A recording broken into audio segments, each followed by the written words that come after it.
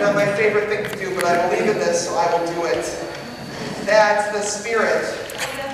Yeah.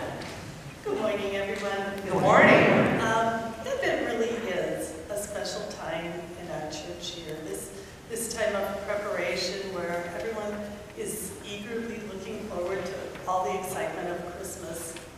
And this year at Redeemer, Advent is a time of preparation in another way too, as we eagerly look forward to the addition of a new staff member to our already amazing team. Um, My name is Sue Graunke, and I'm here on behalf of your search committee because we need your input. We've already met several times. We've had some very interesting and fruitful discussions uh, focusing on both the realities of congregational ministry at Redeemer right now and all the possibilities uh, and potentials that we have for the future too. One of the realities is, as Pastor has shared, is that participation in Christian education programs isn't very strong right now. We have an average of 10 children on a Sunday in Sunday school. Another nine are involved in our sixth to eighth grade confirmation program, and maybe two um, high school age youth coming to high school programming. And that just isn't enough to justify a full-time director position focused on just this one area. The good news is that Redeemer has a lot ministry that needs doing and could benefit from some extra support and guidance.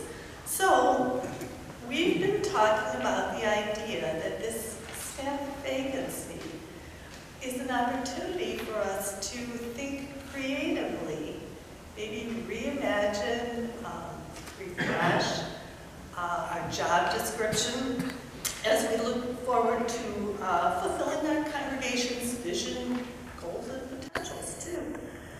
Um, While we definitely do want to include some elements from the previous job description, um, maybe we should consider focusing not so much on a director of one particular ministry area, but rather on a coordinator who could support and integrate a variety of ministries here at Redeemer. So in other words, we would be broadening the scope of the job description and as a result, quite possibly broadening our pool of candidates too that would be interested in the position.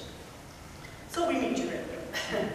The questionnaire that you have that were handed this morning is really asking you, what do you feel is most important at Redeemer? Both for the congregation as a whole and also for you personally. The ideas on the questionnaire came from a variety of directions. First of all, there are just some basic jobs that need doing. Secondly, there are elements on there from the previous job description, important elements. There are ideas on there from the adult forum that we heard when we got together and talked this over initially in November. And then there are ministries on there that are emphasized in our and our constitution too. There's also a section that asks you, what personal characteristics do you think we should be looking for in a candidate? And then there's an open-ended opportunity for you to offer thoughts and, and other comments that you might have too. Uh, Graham has graciously, I hope, agreed to provide us some beautiful thinking music as a background. And so please take a few minutes now to share your thoughts. It won't take you very long. If like to talk directly to one of us on the committee, there's a place that you can indicate that. Um, Mark Rosland, Steve Patterson, Sarah Charles, Pastor, and myself are committee members, and we're happy to talk with you at any time. We truly appreciate your input. We also promise to keep you updated as this moves along.